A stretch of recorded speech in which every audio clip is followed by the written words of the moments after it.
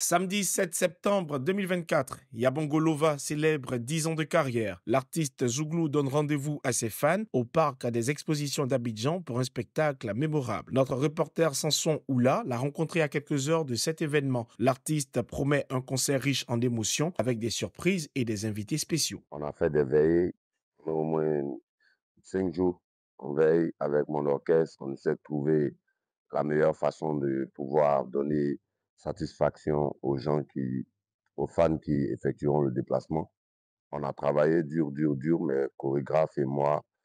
Et aussi, on a associé certaines personnes pour essayer de donner une autre coloration à ce que nous voulons présenter. Pour Yabongo, ce spectacle est l'occasion de remercier ses fans pour leur soutien indéfectible. Le concert s'annonce comme l'un des événements phares de l'année pour les mélomanes du Zouglou.